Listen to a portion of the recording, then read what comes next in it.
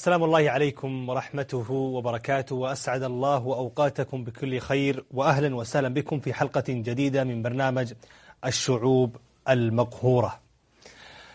نحن بفضل الله عز وجل مع متابعاتكم ومع دعواتكم نحصد بإذن الله ثمرات عظيمة لصالح هذه الشعوب المظلومة.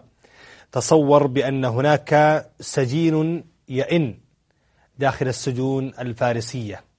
من لهم بعد الله عز وجل إلا مثل هذه البرامج التي تنقل أصواتهم. هناك العديد من الحراك في الداخل سواء كان في الأحواز أو في بلوشستان أو في غيرها من الشعوب. مثل هذا الحراك القنوات الرسمية والقنوات الأخرى لا تستطيع أن تنقل مثل هذه الأخبار. لأنها قد تكون إما أنها لا ترغب أن تتدخل في شؤون الغير كما تقول أو أنها موالية لإيران أو غير ذلك. بحمد الله عز وجل في هذا البرنامج نحاول أن ننقل أصوات هؤلاء المقهورين داخل إيران. وأعظم شيء وقع خلال الفترة الماضية هو إعدام رجالات البلوش في قرية حدودية في بلوشستان المحتلة من إيران. أعدموا عدد كبير من الرجال بحجة تهريب المخدرات وغالبهم من قبيلة زهي. وأيضا هناك أفراد من عائلة أو قبيلة بخش تم إعدامهم. لا يعلم لا يعلم حقيقة أين تم هذا الإعدام. ليس هناك أي تفاصيل. يذكر بأن من حدثت وصرحت بهذا الموضوع لمنظمات حقوقية. هي الآن يحقق معها الآن من قبل النظام الإيراني. أيضا هناك اعتقالات بالجملة تكون على أرض الأحواز وخصوصا على دعاة أهل السنة والجماعة في الأحواز. مثل هذه الأمور تحتاج منا إلى التكاتف تحتاج منا إلى التآزر تحتاج إلى أن نكرر وأن نستمر لنقل مثل هذه الأخبار. أيضا يعني الشيء العجيب الذي يتكرر دائما بشكل سنوي على أرض الأحواز ما يقوم به الحرس الثوري الإرهابي الذي خصص في السنوات الماضية ميزانيات مالية ضخمة لمشروع قوافل النور والتي هي في الأصل قوافل الظلام. هي القوافل التي يجلب من خلالها سنويا عشرات الآلاف من المستوطنين الفرس إلى الأحواز العربية. وغالب الأعضاء من الذين هم من قوافل النور كما يقولون غالب الأعضاء من الحرس الثوري الإيراني. في كل رحلة تقريبا يعني يكون هناك ألفين هذا إن لم تخن الذاكرة بسبب يعني إحياء أو إحياء الذكرى لمحاربة ومواجهة العرب. دائما ويتجهون إلى المناطق بشكل خاص إلى المناطق التي دارت فيها الحرب الإيرانية والعراق الشقيق. يقوم الحرس الثوري الفارسي من الناحية النفسية بزرع ذكريات الحرب في الجيل القادم من أتباعه عبر إقامة مهرجانات مشاريع طائفية استعمارية متعددة بهدف إيهام الإنسان الفارسي بأن الأراضي العربية لهم يوهمون الفرس بأن هذه الأراضي العربية لهم. وأيضا يوهمون هذا الفارسي حينما يجلبونه إلى مثل هذه المناطق بأنه قدم لها تضحيات كبيرة أمام ما يسميه الغزو العراقي ومنع محاولات فصلها عن إيران. هكذا يحاولون أن يوهمون مثل هؤلاء الزائرين الذين يكونون مع قوافل النور. نستقبل اتصالاتكم مشيئة الله عز وجل في هذا المساء أيضا. سنعرض لكم مداخلة عن المؤتمر الطاقة الذي حصل في لندن. كذلك لدينا فقرة رأي التي هي من إعداد المشاهدين وأيضا لدينا جملة من الأخبار عن الشعوب المقهورة في إيران. معنا اتصال هاتفي من عمان أبو أحمد. السلام عليكم. أبو أحمد من عمان. انقطع اتصال. موسى من العراق السلام عليكم. وعليكم السلام ورحمة الله وبركاته. حياك الله يا موسى. حياك وبياك مهور يا شيخ الشاشة اللهم انصر شيعة أمير المؤمنين في إيران على نواصب آل سعود. نعم. هذا الدعاء المنطلق الذي انطلقت به ما يعني ما هي المنطلقات التي انطلقت بها؟ من خلال هذه الدعوات لشيعة إيران. موسى. طيب انقطع الاتصال. عموما يعني نتمنى من المتصل المخالف المتصل المخالف أن يحاول أن أن أن يقنع من يريد أن يقنع بكلامه. يكون الحديث بشكل مناسب. بأسلوب جيد. لعلك أن تقنع غيرك. لكن حينما يكون الدخول بالمواجهة وأيضا الدخول بالسب وبالشتم كما يعني اعتدنا في البرنامج الذي نفتح فيه الاتصالات دائما يكون هذا. ليش يعني يعني هل حجتكم ضعيفة؟ هل يعني هذا يعتبر من دينكم؟ أم أن هذا هو الأسلوب الذي ترونه بأنه يكون مناسب للتشويش وتعتقدون بأن هذا هو التشويش؟ غير صحيح. لما تأتي وتتصل ويكون بيننا الحوار قد يقتنع قد أن تقتنع. ويعني حقيقة سررت لما التقيت ب بأحد الأحوازيين يقول بأننا لما أنت بدأتم في البرنامج السابق عام 2011 برنامج الأحواز المنسية يقول بأننا كنا ضد يعني فكرة حديثكم عن هذا الموضوع.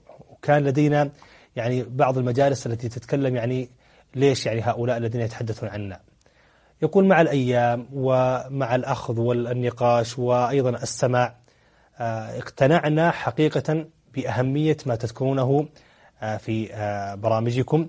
قلت هذا هو الشيء الذي نأمله أن الإنسان يعني ليس بالسهل بأن الإنسان يعني يصبح تابع لأي أحد من غير قناعة. كما نحن نطالب المجتمع الأحوازي وأيضا المجتمع البلوشي والمجتمع بشكل عام في إيران أن أن يبحثوا عن الحقيقة. لأن الذي يبحث عن الحقيقة سيصل. لكن الذي يريد يعني مجرد أنه لا أنا خلاص أنا تابع للنظام الإيراني وتابع لما يقولونه في كتبهم وما يسطرونه في تاريخهم. خلاص أنا لا أستطيع أن أفكر لا أستطيع أن أناقش لا أستطيع أن أبحث. ذلك أتبع هؤلاء في الضلالة. أتمنى من أي متصل قادم ومعارض ومخالف أن يحاور ويناقش فيما يخص البرنامج. في الأشياء الثانية نستطيع أنا أستطيع مثلا في هذا أنا هذا المنبر لدي. أستطيع بأن نقول الحاكم الفلاني والخميني وخامنئي والملالي وأسب وأشتم هذا المنبر حر. واستطيع أن أفعل ما يعني هذا الأمر. لكن ليس من ديني أن أجعل هذا المنبر سب وشتم فقط. نحن نريد أن نسعى إلى الإصلاح أن نعين أنفسنا ونعين غيرنا لكي نبحث عن الحقيقة. حقيقة مشاهدي الكرام هناك مأساة كبيرة جدا وخصوصا على أرض الأحواز والشعوب الأخرى في قضية سلب الهوية. ومن ضمن هذه الهوية التي قتلت ويحاولون أن يقتلونها على أرض الأحواز منذ عام 1925 هي اللغة العربية. ما هي مشاركات الجمهور الذين يحاولون أن يشاركوننا في هذا اللقاء؟ عن ضرورة الاحتفاظ باللغة العربية. نشاهد وإياكم هذه الفقرة ونسعد بمشاركاتكم أيضا عبر الرقم الذي سيعرض لكم بعد قليل بمقاطع فيديو. تتحدث عن الأحواز عن الشعوب المقهورة في إيران تتحدث عن إيران السياسات الملالي. شارك وأنت من بيتك من متجرك وأوصل صوتك للملايين وتكون بذلك قد أسهمت في نصرة مظلومين. نشاهد. بسم الله الرحمن الرحيم والصلاة والسلام على سيدنا محمد وعلى آله وصحبه وسلم. اللغة العربية هي لغة القرآن الكريم الذي أنزل على محمد صلى الله عليه وسلم ويجب على كل عربي أن يحافظ على هذه اللغة وعدم إدخال عليها أي مفردات أجنبية. كون هناك أعداء يريدون أن تندثر هذه اللغة وتنتهي. والسلام عليكم. إن حقيقة من ينظر إلى اللغة العربية بازدراء آه، أو تقليل من شأن هذه اللغة العظيمة اللغة التي نزل بها القرآن الكريم. آه، إن حقيقته يقف وراءها لغز كبير وهو تهميش لهذه الحضارة وهذا العز لهذه اللغة العظيمة.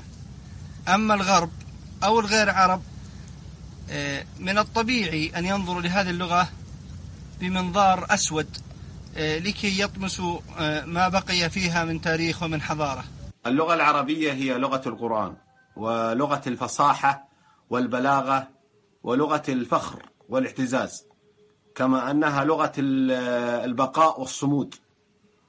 وتعتبر لغة كل عربي غيور على دينه ولغته. ويكفينا فخرا أن اللغة العربية أصل اللغات. بل أغناها وستبقى وتظل ثابتة وراسخة في وجه كل حاقد من يحاول تهميش اللغة العربية فلن يستطيع لأنها لغة القرآن وهي الخالدة بإذن الله تعالى. شكرا آه، لمن شارك معنا. وأيضا المشاركات متاحة لكم آه، في مشاركة إن شاء الله في الأسبوع القادم خصصناها للشباب آه، آه، الذين يريدون أن يناصروا مثل هذه القضايا وستكون خاصة بالشباب. وأيضا المجال مفتوح لك في أي مكان. حبيت أن تشارك؟ أبد يعني سجل آه، آه، خذ الجوال وسجل مقطع فيديو. تحدث بكل عفوية بكل بساطة وشاركنا بهذا المقطع. لعل هذه الرسالة أن يكون لها أثر. فلا تحقر من المعروف شيئا. أبو سلطان من السعودية السلام عليكم. أبو سلطان. آه انقطع أبو, أبو سلطان. آه يعني هناك من يسأل يعني حول آه يعني قضية الأحواز وقضية تحرير أرض الأحواز وتحرير مثل هذه المناطق. آه هناك المشكلة بأننا دائما أن نستعجل. نستعجل دائما في آه آه النتائج. وهذا غير صحيح. لا نستعجل النتائج نبذل آه ونحاول أن نشترك جميعا في الوسائل التي تساعد على النصرة لعل غيرنا في المستقبل من يقطف آه، ثمرات ما قمنا به جميعا. معي من العراق فاطمة. السلام عليكم. عليكم السلام ورحمة الله.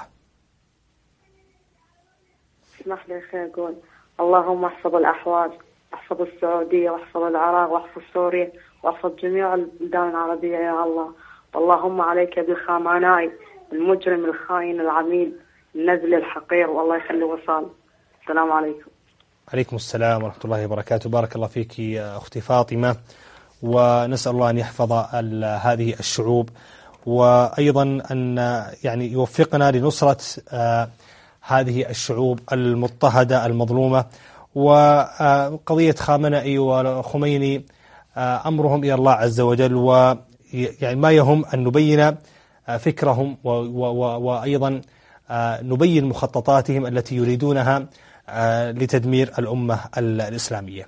آه، مشاهدي الكرام يعني هناك مشاركة لحركة النضال العربي لتحرير الأحواز في المؤتمر السنوي الأول الذي أقامه مركز لندن لممارسة القانون الدولي في العاصمة البريطانية. انتهت يعني أعمال المؤتمر و كان هناك مشاركة, مشاركة لحركة النضال العربي لتحرير الأحواز ويسعدنا أن يكون آه، معنا المسؤول الإعلامي للحركة الأستاذ يعقوب حر الأحوازي. الأستاذ يعقوب السلام عليكم ورحمة الله وبركاته. وعليكم السلام ورحمة الله وبركاته. تحياتي لك آه، أخي أبو أصيل وتحياتي لمشاهديكم الكرام. حياكم الله وأهلا وسهلا بكم. أستاذ يعقوب ال- المعتاد بأن آه، أن نشاهد حركة النضال مثلا آه، في المؤتمرات السياسية المنظم المؤتمرات الحقوقية أيضا المظاهرات أمام السفارات الإيرانية أو أمام البرلمانات الدولية.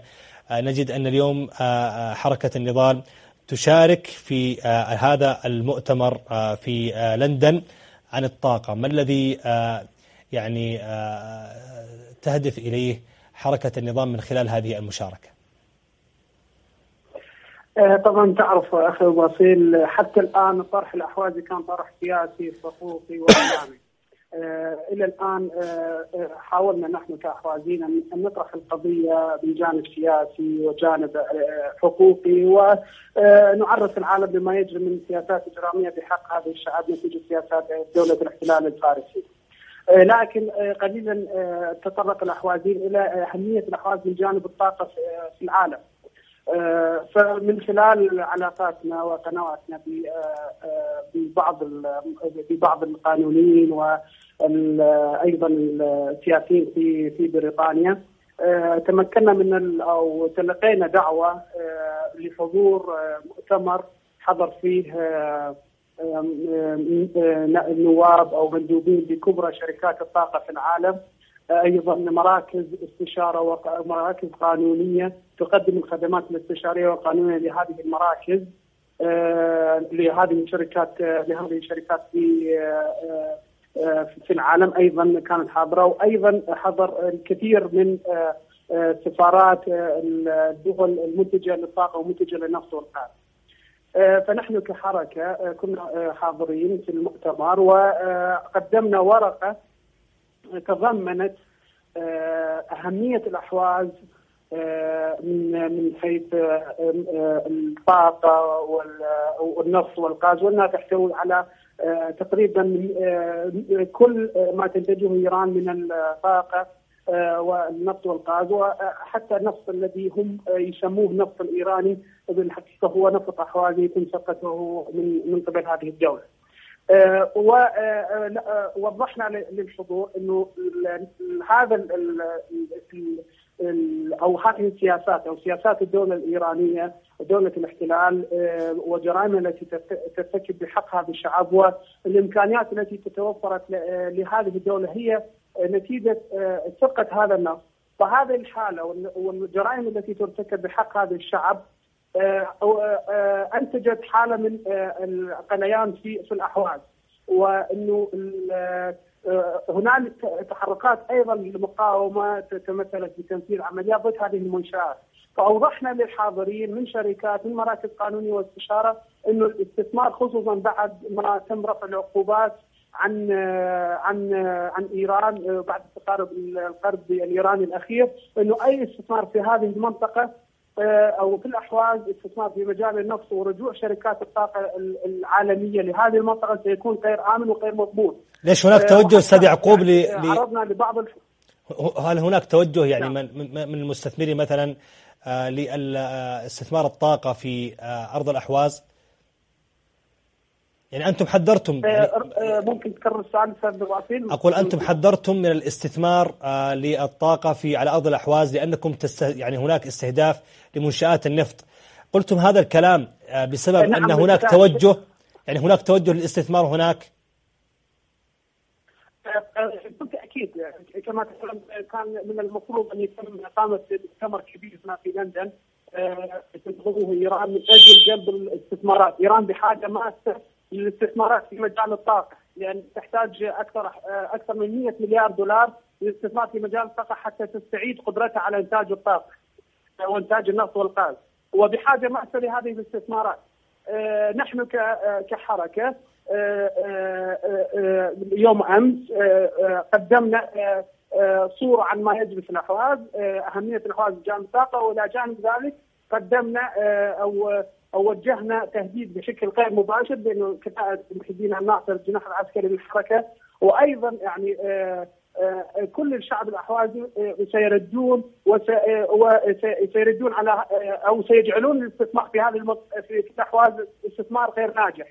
أيضا هددناهم بمحاسبتهم لأن بمجرد حضورهم في الأحواز واستثمارهم في الأحواز وبالنهايه إنتاج النفط سيؤدي إلى تقوية الاحتلال واعطائها إمكانيات لفهم شعبنا س- سنقوم بمحاسبتهم من خلال ال- من خلال المحاكم الدولية آه، فمشاركتهم بإنتاج النفط الخارج يؤدي ب- لمشاركتهم أيضا آه، في آه، آه، في آه، آه، آه، الجرائم التي ترتكب بحق الشعب العربي الأحوازي. كيف كانت آه، ردود الأفعال؟ بعد ساعات من من بعد ساعات من تقديمنا هذه الورقة تواصلت معنا إحدى شركات التأمين آه، التي تقدم خدمات تأمين لإحدى شركات الطاقة العالمية آه، والتي تهوي أيضا آه، الاستثمار في الأحواز اتصلوا فينا وطلبوا إيضاحات لأن تعرف يعني تهديد يعني هذه الشركات شركات التأمين ستقوم برفع ال- السعر تقديم خدمات التأمين. هذا بالنهاية يؤدي إلى ال- ال- ارتفاع سعر أو تكلفة الاستثمار في في الأحواز أو في أو التعاقد مع إيران وبالنهايه سيقلل آه، إمكانية ال- الاستثمار أو إمكانية جلب الاستثمارات من جانب دولة الاحتلال الفارسي. نعم آه، ألم يكن هناك من الحضور آه، من الإيرانيين أو من القوميات الأخرى وصار هناك يعني ردود أفعال على توجهكم توجهكم بعدم الاستثمار على أرض الأحواز طبعا لم. لم يكن حضور إيراني مباشر لكن هنالك كان من الشركات الذي الذين متعاقدين من المتعاقدين مع دولة الاحتلال آه، لكن ال- ال- المؤتمر كان مؤتمر آه، آه، يعني غير سياسي بمعنى إنه كان آه، المؤتمر حول الطاقة حول أمن الطاقة وكيفية حل النزاعات في مجال الطاقة آه، فهم لم يكن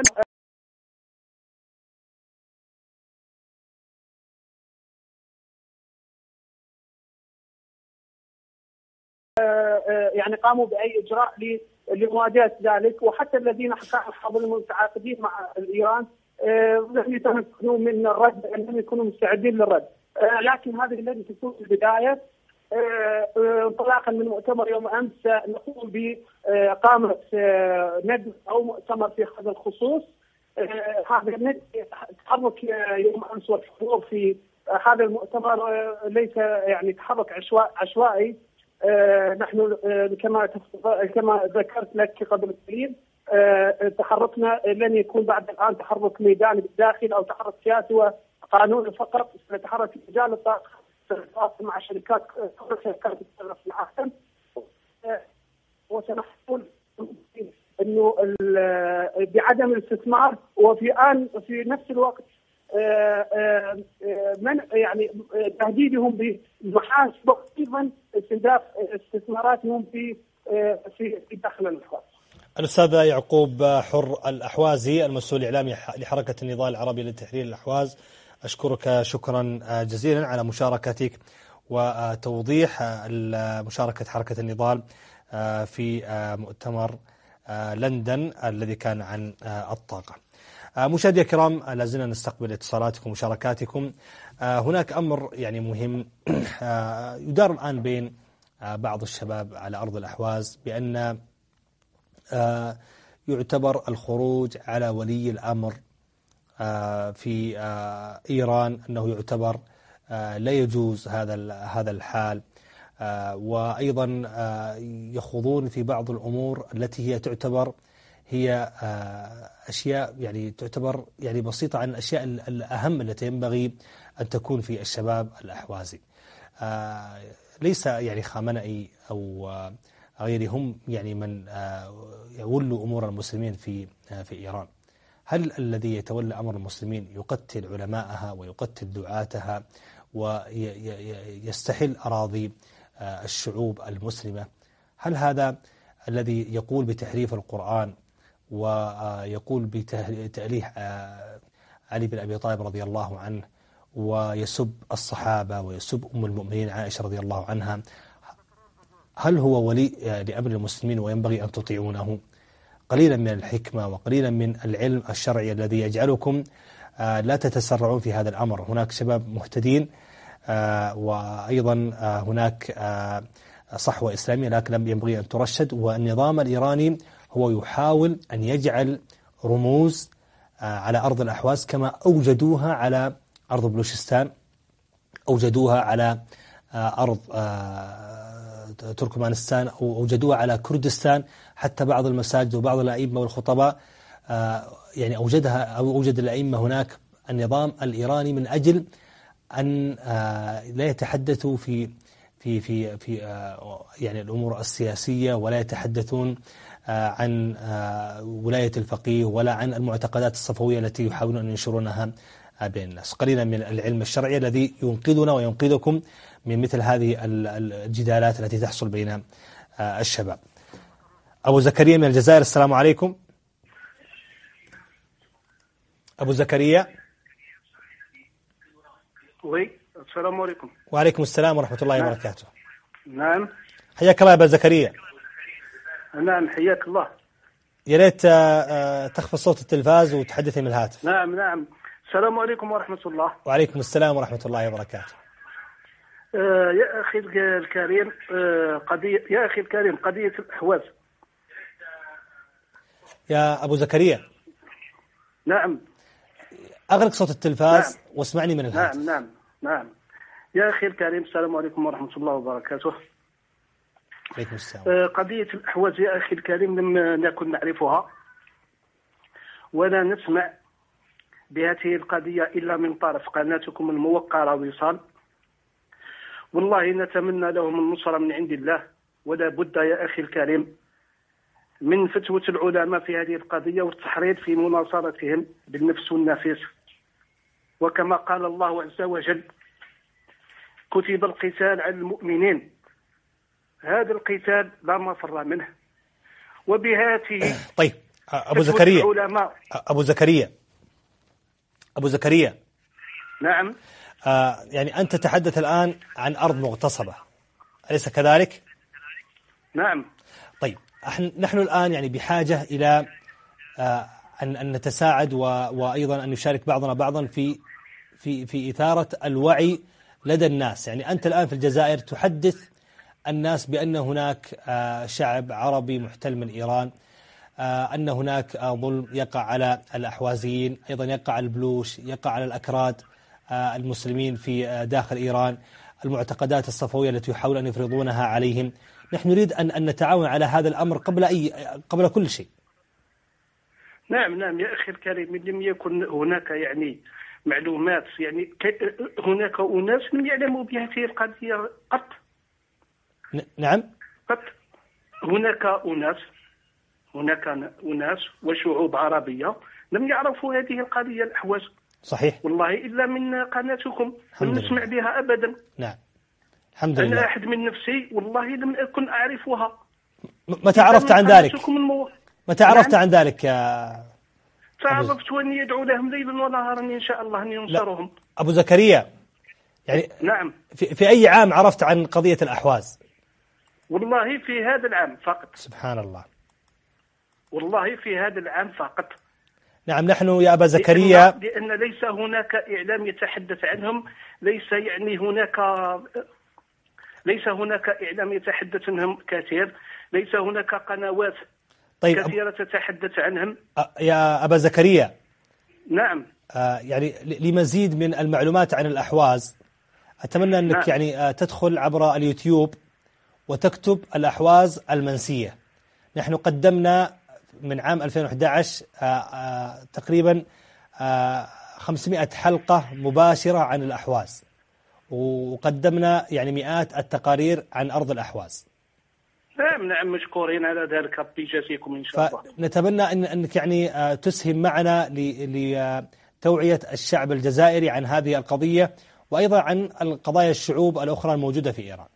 نحن آه، نعم، جميعا نعم، شركاء نعم، الله. في إيصال الرسالة لكل. الناس ولا بد يا أخي الكريم هناك كثير يعني من من ف يعني هناك علماء كثيرون لابد أن يحرضوا الناس يفتون يعني يتكلمون على الاحواز إنهم سبحان الله يعني بعضنا يكمل بعضا بعضنا يكمل بعضا وبعضنا ينبه على العلماء وينبه الساسة وينبه الدعاء والكتاب. مع كل احتراماتي للعلماء ليس يعني آه، فهمت عندي علم مثل علمهم ولكن آه، تذكير فقط. بارك الله فيك يا أبا زكريا. أشكرك شكرا جزيلا على هذه المداخلة. وأيضا آه، نحن حقيقة فرحنا بأنك أنت في بلاد الجزائر عرفت عن هذه القضية من خلال هذه القناة.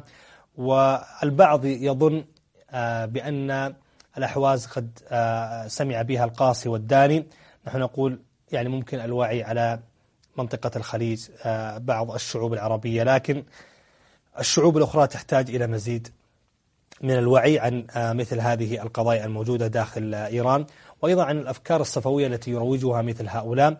ونتمنى أن يكون هناك تفعيل للندوات وأيضا للمراكز الإسلامية في العالم آه، بسبب آه، إيقاف المد الصفوي الذي آه، انطلق في الفترة الماضية وأخذ يصول ويجول من غير رقابة ومن غير آه، أي أي آه، مشروع موازي له آه، من المشاريع الإسلامية. آه، نتمنى أن يكون هناك حقيقة انتفاضة وعاصفة آه، للوعي آه، لجميع المراكز الإسلامية في العالم وخصوصا في أوروبا وأيضا لجميع بلدان العالم. آه، من ناحية تبيين مثل هذه الأفكار الصفوية وأيضا ما هو الدين الإسلامي؟ الغرب وللأسف وبعض الصحف الغربية وبعض المناطق يظنون بأن الإسلام آه، هو آه، عند آه، آه، إيران وهذا غير صحيح واقتنعوا بهذا الأمر بسبب النشاط الصفوي الذي كان على آه، يعني عن طريق آه، سفراتهم وعن طريق المبشرين وعن طريق الملالي حينما ينتشرون آه، في آه، تلك المناطق. الدور ينبغي أن يفعل بشكل آه، أفضل وأن يكون هناك انتفاضة وأن يكون هناك عاصفة اسمها عاصفة الوعي آه، لجميع البلدان آه، في العالم وتبيين ما هو الإسلام الصحيح لأن هؤلاء حقيقة شوهوا الدين الإسلامي بهذه الخرافات وبهذه المعتقدات الفاسدة وأيضا بدعم الإرهاب كما عند يعني حزب الله وعند الحشد الشعبي في العراق وأيضا داعش حينما يدعمونها بطريقة غير مباشرة. هؤلاء يعني يدعمون الإرهاب ويقولون بأنهم آه، دولة إسلامية. معي آه، سعد من السعودية. السلام عليكم. السلام عليكم ورحمة الله وبركاته. وعليكم السلام ورحمة الله وبركاته. بارك الله فيك أخونا المقدم. بارك الله وبارك الله في القائمين على هذه القناة. والله العظيم والذي والذي لا إله إلا هو. أن الصوت آه، الأحواز وصوت الشعوب المقهورة في أركان والمناطق الثانية بفضل الله ثم بفضل هذه القناة والقائمين عليها ونشكر خاصة يا أخينا المقدم. الحمد لله. وجل. والحمد لله. الحين حتى القنوات الإخبارية الكبيرة صارت تنقل نفس الأشياء اللي أنتم بديتوها صارت تستقي منكم الأخبار. وهذا إن شاء الله مجد لكم ورفع للإسلام والمسلمين. وبارك الله فيكم وزادكم الله من فضله. والسلام عليكم ورحمة الله بارك الله. فيك. شكرا لك أخي سعد. والفضل لله من قبل ومن بعد. وكل ما نأمله أن الله عز وجل يعني يرزقنا آه، الإخلاص في القول والعمل وأن يتقبل منا هذه ال- ال- الأعمال. وهناك من هم خلف الكواليس أيضا ي- يعملون ويجتهدون. نرجو من الله عز وجل القبول ونرجو أن ينفع آه، تقطف مثل هذه ال- الثمرات سواء كانت على مستوى الإعلام أو على مستوى السياسة. آه، حقيقة مثل هذه آه، الشعوب ظلمت كثيرا. فنحن أفقنا آه، قبل آه، فترة من الزمن ونحاول أن نكفر عن آه، نسياننا في آه، الفترة الماضية. أنا أشكر آه، مشاركاتكم وأشكر آه، أيضا آه، تفاعلكم وأيضا فريق البرنامج الذي يقوم على الجوال. آه، يجد الرسائل يقرؤون الرسائل وغالبا يعني هذا الجوال للمشاركات سواء كان برسومات أو تصاميم أو مقاطع فيديو للمشاركة في آه، البرنامج. أنتقل وإياكم الآن إلى فقرة أخرى مع الأخبار فإلى العناوين.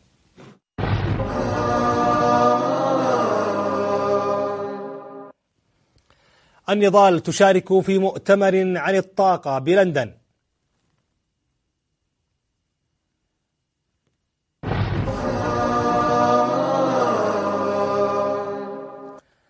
النضال تدعو للمشاركة في مظاهرة أحوازية في بروكسل.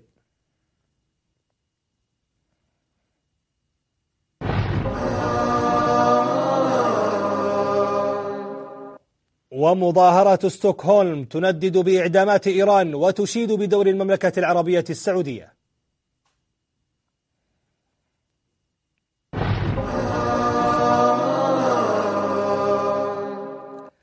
مجموعات أحوازية تمنع مستوطنين فرس من دخول حي تستر.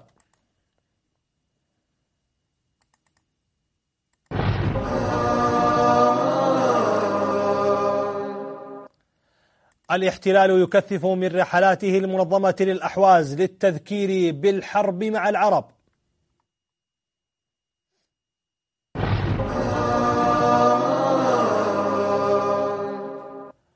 مشجع فولاذ يتظاهرون للمطالبة باستقلال الأحواز.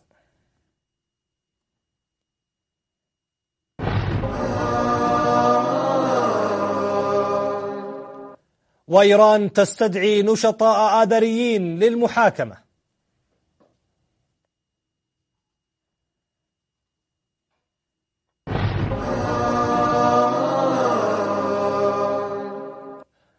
كمبين البلوشية تكشف اسم القرية التي أعدم الاحتلال جميع رجالها.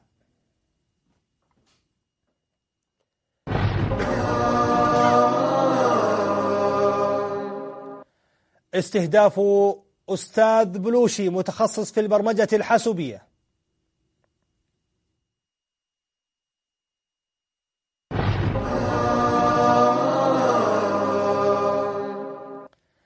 نادر قاضي بور يعترف بقتل ثمانمائة أسير عراقي.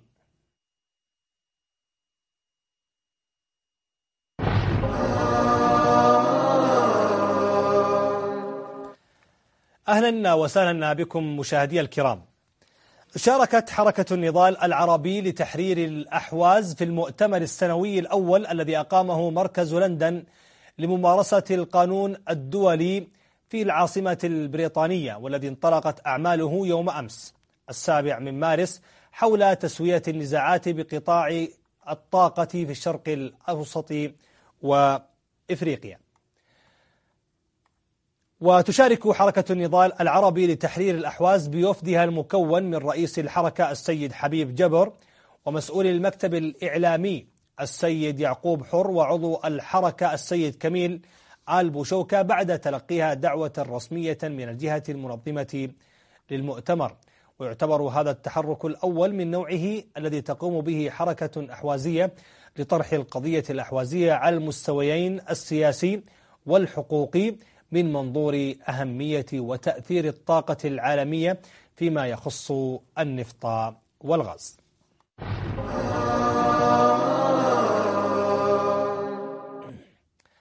حركة النضال العربي لتحرير الأحواز دعت أبناء الأحواز والأشقاء العرب والشعوب غير الفارسية في المهجر ومناصر القضية الأحوازية لحضور مظاهرة حاشدة دعما للأحوازيين المعتقلين وتنديدا بجرائم وانتهاكات وانتهاء الانتهاكات الإيرانية بحق الشعب العربي الأحوازي.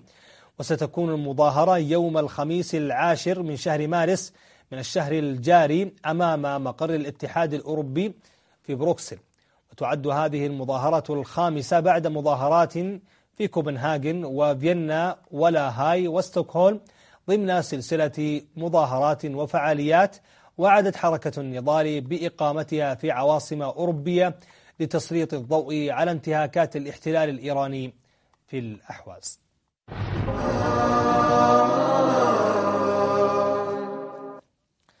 وكان المئات من المتظاهرين الأحوازيين قد نفذوا مظاهرة حاشدة أمام سفارة الدولة الإيرانية المحتلة في دولة السويد ونددوا بالإعدامات وسياسات الاحتلال الإيراني. التفاصيل في ضوء التقرير التالي.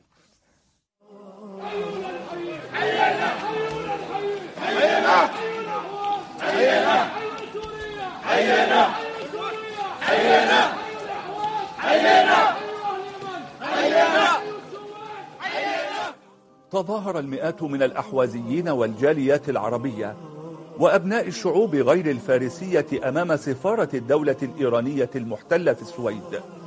ونددوا بالإعدامات وسياسات الاحتلال الإيراني.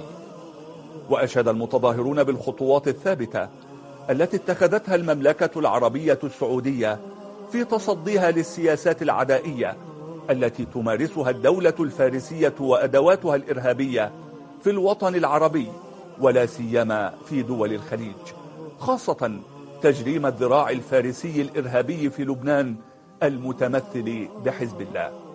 ورفع المتظاهرون العلم الوطني الأحوازي وصورا ولافتات تعبر عن طبيعة الإجرام الذي تمارسه الدولة الفارسية ضد الأحوازيين من إعدامات وتهجير قسري واعتقالات تعسفية ونشر للبطالة والأمية. وفي ختام مظاهرة ستوكهولم أصدرت حركة النضال العربي لتحرير الأحواز وهي الجهة المنظمة للتظاهرة أصدرت بيانا ختاميا جاء فيه. نسير مسيراتنا في عواصم العالم الحر لمخاطبة الضمير العالمي حول تقصيره نحو شعبنا الأحوازي. فالمحتل الفارسي يرتكب في الأحواز جرائم تجاوزت في بشاعتها المعايير الموضوعة في تصنيف جرائم الإبادة الجماعية أو الجرائم ضد الإنسانية. وقال البيان إن من ضمن المبادئ التي يتجاهلها المجتمع الدولي في الأحواز عدم تحقق أبسط شروط العدالة في محاكمة المواطنين الأحوازيين الذين تكتظ بهم سجون المحتل المظلمة والتي تفتقر إلى الحدود الدنيا لمعايير حقوق الإنسان التي يجب توفرها في المعتقلات. فالاعتقالات عشوائية والمحاكم إن وجدت فهي صورية والتهم ملفقة معدة سلفا في مقرات أجهزة الأمن والأحكام دائما جائرة. وأضاف البيان بما أن الدولة الفارسية أصبحت عنوانا للظلم فإنها أينما حلت حل الدمار والجور ضد الإنسان. فإن كانت الأحواز وما حل بها مثالا منسيا منذ عقود فإن ما حل بالعراق وسوريا واليمن أمثلة حية على بربرية الدولة الفارسية وعلى الحقد التاريخي الذي يسيطر على عقلية قادتها. وختم البيان. إننا نجتمع هنا ومن أمام سفارة الدولة الفارسية بمدينة ستوكهولم لنعلن للجميع ما يلي. أولا الدولة الفارسية دولة ترعى الإرهاب وتمارسه. وأن الشعب العربي الأحوازي والشعوب غير الفارسية الواقعة تحت الاحتلال الإيراني شعوب مضطهدة يمارس عليها الإرهاب منذ عقود لذا يجب إعطاؤها حقها في تقرير مصيرها. ثانيا نطالب المجتمع الدولي التدخل الفوري وعدم تجاهل جرائم الدولة الفارسية بحق الأحوازيين وباقي الشعوب غير الفارسية بحجة الاتفاق النووي الذي لا يراعي إطلاقا مصالح الشعوب غير الفارسية المضطهدة. ثالثا نرفض بشدة سياسة الإعدامات العشوائية التي تصدر بحق المواطنين الأحوازيين ونؤكد على تضامننا مع الأسرى الأحوازيين القابعين في سجون الاحتلال الفارسي العنصري الذين يعانون الظروف السيئة وصنوفا من أنواع التعذيب. قام مقاومون أحوازيون في حي التفكير أحد أحياء مدينة تستر بإطلاق النار وحرق الإطارات بعد أن حاولت مجموعات من المستوطنين الفرس من دخول هذا الحي. وقالت مصادر أحوازية إن الحي شهد في أيام أيام مسرحية الانتخابات الفارسية أجواء مشحونة أدت إلى منع دخول المرشحين الفرس ومناصريهم إليه. وأوضحت المصادر أنه من المتوقع حصول مداهمات واعتقالات لأهالي الحي من قبل جهاز المخابرات الفارسية ردا على ما قامت به المجموعات المقاومة الأحوازية.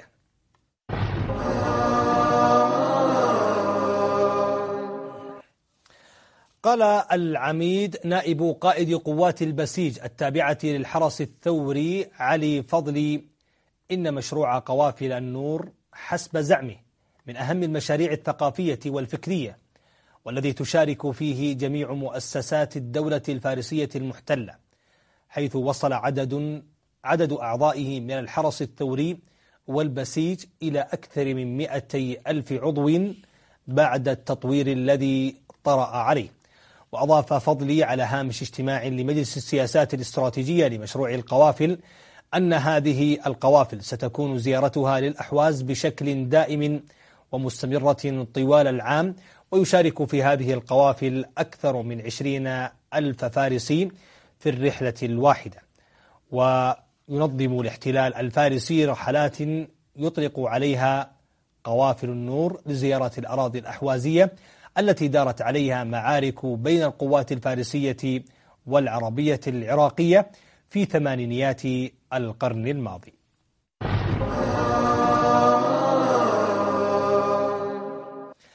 تظاهر المئات من مشجعي فريق فولاذ الكروي الذي يضم عددا من اللاعبين العرب الأحوازيين بعد خروجهم من ملعب الغدير في الأحواز العاصمة.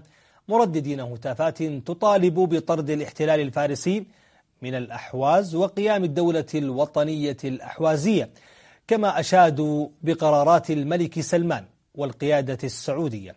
واندلعت هذه المظاهرة بعد انتهاء مباريات كرة القدم التي أقيمت مساء الجمعة في الرابع من شهر مارس الجاري في ملعب الغدير بين فريقي فولاذ وسايبة طهران الفارسي وردد المتظاهرون شعار الثورة الثورة يونس وصانا في إشارة منهم إلى المواطن الأحوازي يونس عساكرة الذي أضرم النار في جسده العام الماضي أمام بلدية الاحتلال في مدينة المحمرة احتجاجا على التهميش والتمييز العنصري وكذلك أشاد المتظاهرون من خلال شعاراتهم القومية بالوحدة العربية والإسلامية التي تقودها المملكة العربية السعودية ضد الإرهاب الفارسي المتمثل بالدولة الفارسية وأذرعها الإرهابية في الوطن العربي. نحن واشتاق لابن سعود. عساها العجم فدوة تروح لطاب السعودية خالد وقف سلمان ونادت الاحوازية شد حيلك بين سلمان شد حيلك بين سلمان شد حيلك بين سلمان شد حيلك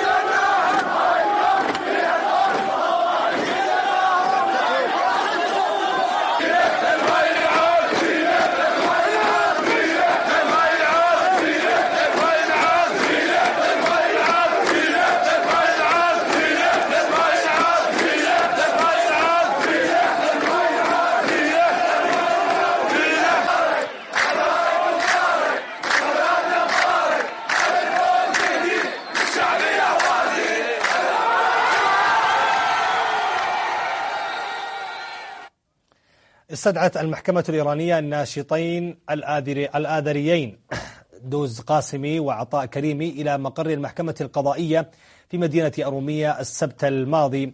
وطبقا للاستدعاء الواصل فإنه من المفترض أن تعقد جلسة المحكمة برئاسة القاضي إسلام جباري بتوجيه تهمتين أساسيتين للمتهمين الإخلال بالنظام والعضوية في أحزاب غير قانونية. كانت المحكمة قد وجهت تهما مشابهة لستة نشطاء آذريين وتمت محاكمتهم على ضوئها.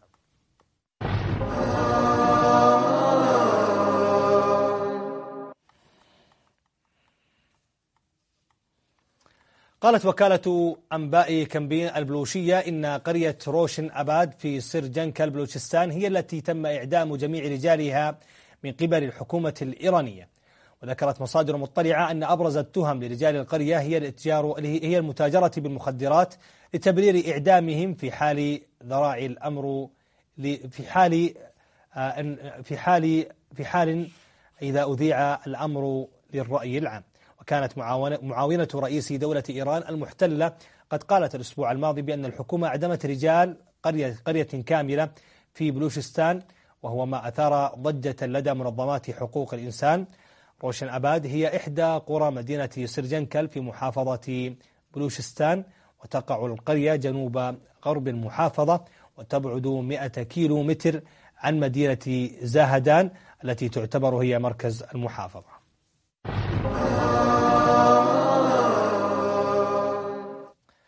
قامت قوات البسيج الإيرانية بقتل المواطن البلوشي أمين شهنوازي ابن شادي خان في حاجز تفتيش في مدينة سروان وقاموا بإلقاء جثته على قارعة الطريق ولاذوا بالفرار. أمين شهنوازي من أهالي حي ماشكيدان التابع لمدينة سروان وهو أستاذ في الدراسات العليا في تخصص البرمجة والحاسوب. وكانت تقاريره سرية مسربة قد ذكرت توجه الاحتلال عبر ذراعه الشعوبي الباسيج لاستهداف شباب الشعوب غير الفارسية المتخصصين في العلوم التقنية والمعلوماتية.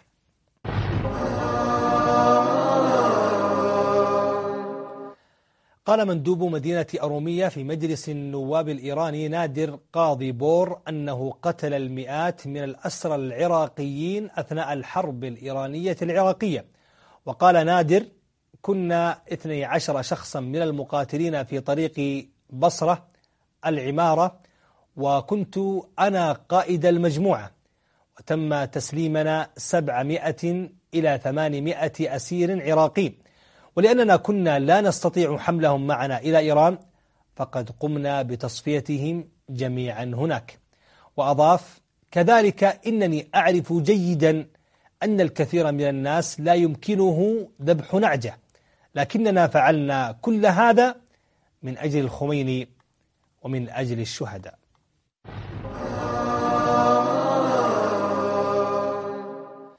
وصلنا وإياكم إلى نهاية هذا اللقاء. ألقاكم بمشيئة الله عز وجل في حلقة قادمة بإذن الله. أستودعكم الله الذي لا تضيع ودائعه. سلام الله عليكم ورحمته وبركاته.